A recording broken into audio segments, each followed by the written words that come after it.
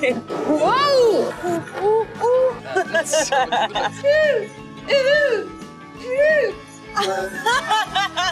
Hello. I am super. Sorry, someone said there was cruffins in here. no. She's not a rice. She's not a.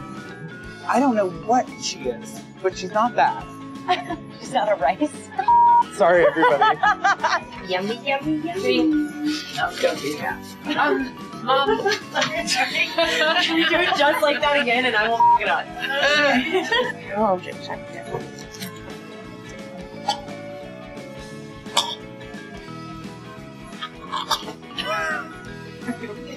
Oh, well, I'll, I'll go go get it.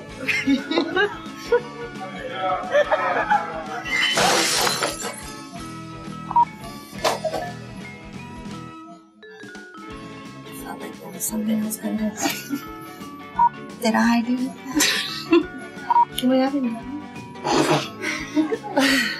where should I put this right I don't know. In the oven. I mean, really. It goes under the damn tree. And make sure you're all back here by four because we are going to do that photo tonight. The dinner. Yes, Yay. we're, we're gonna do it tonight before dinner, so everybody Be sure to be here by four. We heard Mom. what I said, Jane. It's just not necessary to say it again. just be sure to be back here at four.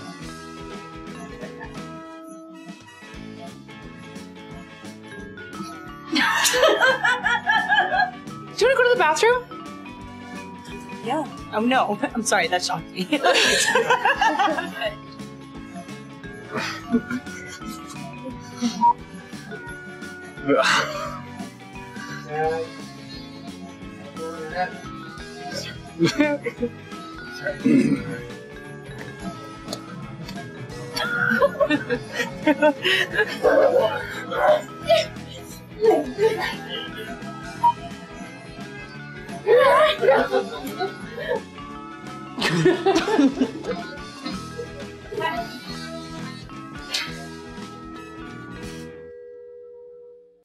Hey, stay with me for more on rom-com movies. Now, Pretty Woman was originally much darker, titled 3000, and wasn't a love story, and it didn't have a happy ending.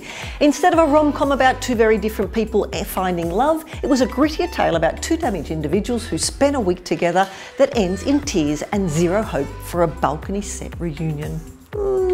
Now, click here below to subscribe and tap the bell to always receive the latest trailers.